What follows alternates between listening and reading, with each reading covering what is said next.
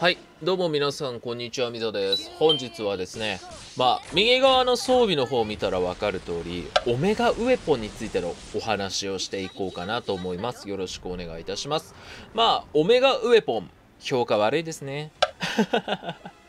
評価が低い。うん、まあでも評価が低いけど、まあでも実際に使ってみるとね、意外と強いなと思ったので、今回は、あの、オメガソード、まあみんながね、弱い弱い言うてるから、みんな弱い弱い言ってるから、俺がステマをしていこうかなと。ステマしていこうかなと思います。よろしくお願いいたします。で、まあ僕が使ってる装備は最近セレマグハイレベルオート放置で使ってる装備は、えーこんな感じになってる。えーソーン、水着、あ、水着じゃねえわ。ソーン、ゾーイ、えーレフィーエ。光パは割とオメガソードとの相性がいいですね。うん。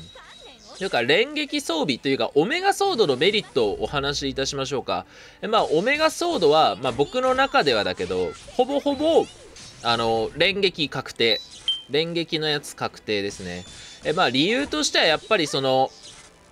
カゴ抜きで DATA が20%だったかな。カゴ抜きで DATA が20%上昇するっていうのはやっぱりメリットですし、まあやっぱ他にはないメリットっていうのがでかいですよね。まあ、あと連撃装備の数自体が少ない。まあ後人とかも魅力的ではあるんですよ。後人装備とかも魅力的ではあるんですけれども、やっぱこの連撃装備は替えが効かないから他の装備と違って。てかあの数自体も少ない後人っていうのはやっぱそのメジャーな武器ではありますから後人自体はねやっぱ何かしら種類は多いんですけれどもやっぱあのね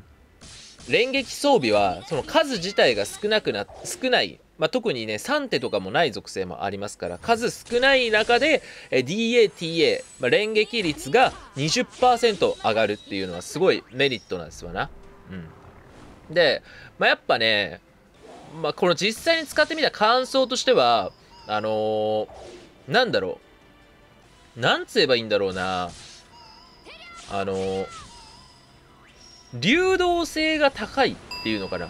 なんでしょうね。まあ、結構、あの、例えば視点陣ですよね。例えば視点陣を持った場合って、あのー、DATA 率が30%上がるじゃないですか。うん。終わったんだけど。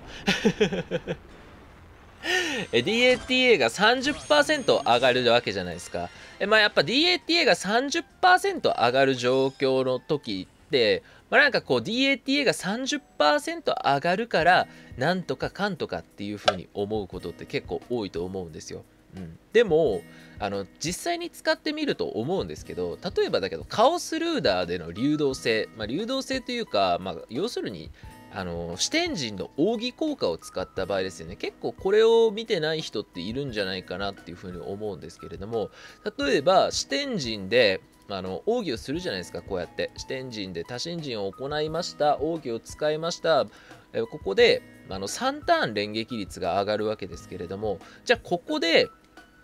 なんだろうその3ターンのつなぎのターンつなぎのターンで扇ゲージを100%にできる確率ってどんなもんなの？っつう話なんですよ。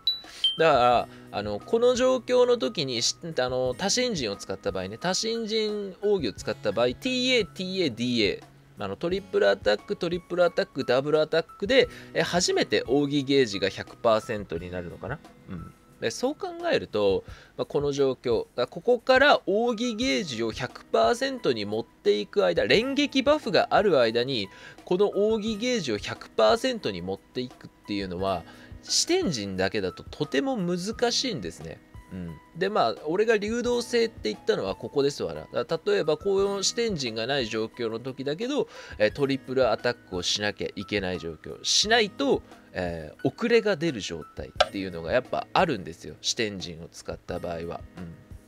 だから何かしらの連撃バフに対するアシストっていうのを入れなくちゃいけないんですよね。えまあそういう状況、まあ、こういう流動性においてですね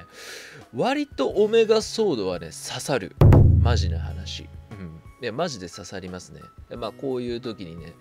あのやっぱほらこれでオメガソードで入れた状態ですらこれなわけですよ。うん、オメガソードを入れた状態ですらこういうの状況なのにやっぱこれ他に連撃のフォロー装備フォローアップできる装備を入れないとやっぱね